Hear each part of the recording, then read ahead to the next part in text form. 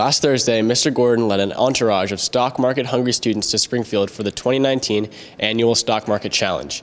In this challenge, groups of students from all over the area are given 1 million virtual dollars to invest over a period of 60 virtual days. It's important to have knowledge about financial matters, including investment and the stock market, for when we get out of high school.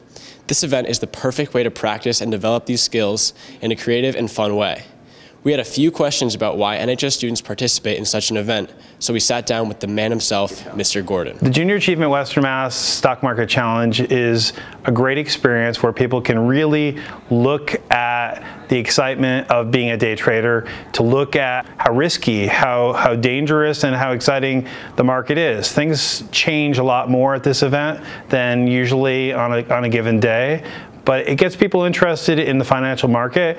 And for some people, it might be a career. And for some people, it'll be the difference between having a savings and not. If you put your money in the bank, you're getting nothing out of interest. You really have to learn to invest either in a safe portfolio, um, a mutual fund, um, or if you really want to look at it, go for uh, go for the stocks. Again, just like. So yeah. Since about 2014, that's when I keep track of when I started using the stock market event. 2017, we had first and second place. 2018, also win.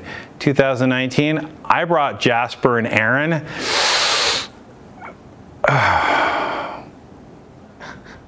Last year I brought a, a, handful of sophomores who went this year again as juniors, and I imagine as seniors they're going to accept nothing but victory. Victory. Victory.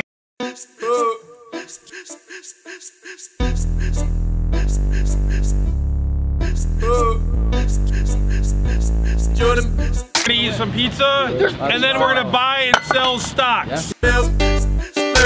Jordan.